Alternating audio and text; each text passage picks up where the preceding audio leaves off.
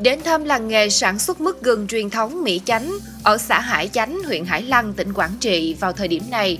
chúng ta dễ dàng cảm nhận được mùi hương cây nồng của gừng đang tỏa ra các ngã đường. Nhà nhà đỏ lửa tất bật làm mứt gừng phục vụ thị trường Tết Nguyên đán 2023. Nghề làm mứt gừng ở làng Mỹ Chánh là nghề truyền thống từ lâu đời. Ban đầu chủ yếu phục vụ trong gia đình vào dịp Tết, sau đó nhằm đáp ứng nhu cầu của thị trường, nên mứt gừng Mỹ Chánh dần xuất hiện khắp các tỉnh thành trên cả nước, rất được khách hàng ưa chuộng. À, khoảng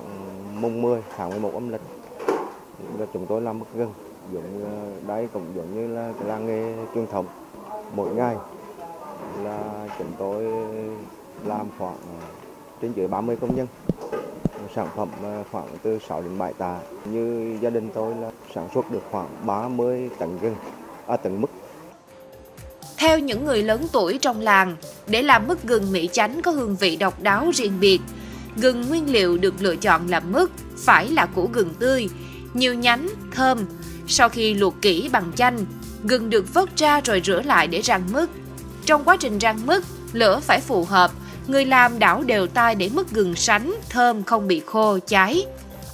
Hiện nay, nghề làm mứt gừng đã góp phần nâng cao đời sống, tăng thu nhập cho người dân dịp cuối năm, giải quyết việc làm cho hàng trăm lao động địa phương. Hiện địa phương có 6 cơ sở sản xuất lớn, tạo việc làm thường xuyên cho khoảng 150 lao động và còn có hàng chục cơ sở sản xuất nhỏ lẻ